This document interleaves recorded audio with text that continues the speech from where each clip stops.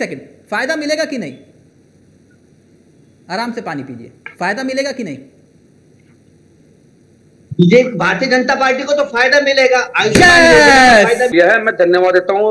तिलक जी आपका? अपनी बात आप मेरे मुँह में डाल दोगे मुँह में मुँह अरे मैंने मुँह में डाला बात आपके ध्यान से सुनिएगा। ये जो फैसले आपने लिए बहुत अच्छी बात है अच्छे अच्छे फैसले लिए आपने। बहुत बहुत मुबारक हो उत्तराखंड की जनता को इतने बड़े बड़े फैसले लिए।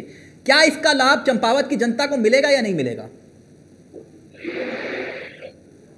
कैबिनेट की जो बैठक है वो पर्टिकुलर किसी एक विधानसभा के लिए या सर मैं पूछ रहा हूँ उत्तराखंड की जनता चंपावत की जनता को इसका लाभ मिलेगा इस फैसलों का या फिर नहीं? दैट्स इट इस पर, इस परिप्रेक्ष्य में तो ये कैबिनेट की बैठक रखी नहीं थी।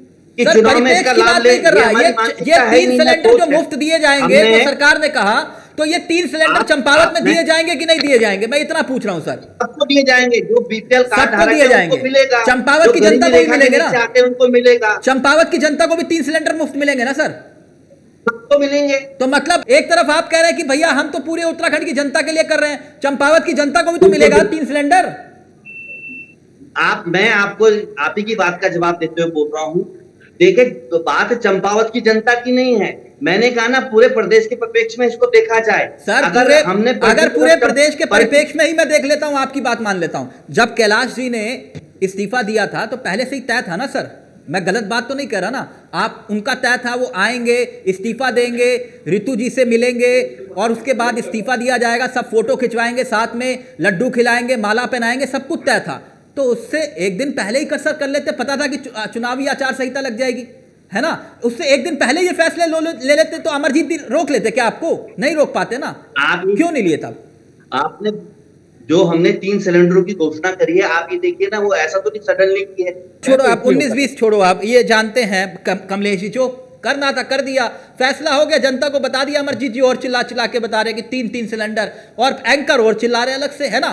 मैसेज तो चला गया लेकिन अब कमलेश जी मुद्दे की बात करो फ़ायदा मिलेगा इससे नहीं मिलेगा? देखिए हमारी सोच कभी भी किसी चुनाव चुनाव निरंतर प्रक्रिया है। भारतीय जनता पार्टी संगठन की अगर मैं बात वोट का फ़ायदा तो मिलेगा जनता को छोड़ो वोट का फ़ायदा मिलेगा कि नहीं मिलेगा ये बताओ वोट का फ़ायदा।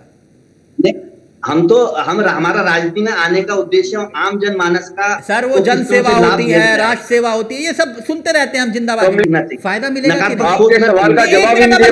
प्लीज़ प्लीज़ प्लीज़ एक सेकंड फ़ायदा मिलेगा कि नहीं? आराम से पानी पीजिए। फ़ायदा मिलेगा कि नहीं? भारतीय जनता पार्टी को तो फ़ायदा मिलेगा। Yes! फ़ायदा मिलेगा। यस फ़ायदा मिलेगा।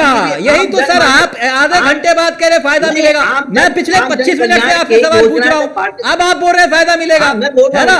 फ़ायदा मिलेगा ना? मैं यही तो कह रहा हैं, मैं हूँ हूँ, भी तो यही कह रहा हूँ फ़ायदा मिलेगा अगर जनता आपको। के लिए काम करेंगे तो जनता उस व्यक्ति को चुनाव उस व्यक्ति हाँ, चुनाव जितवाएगी।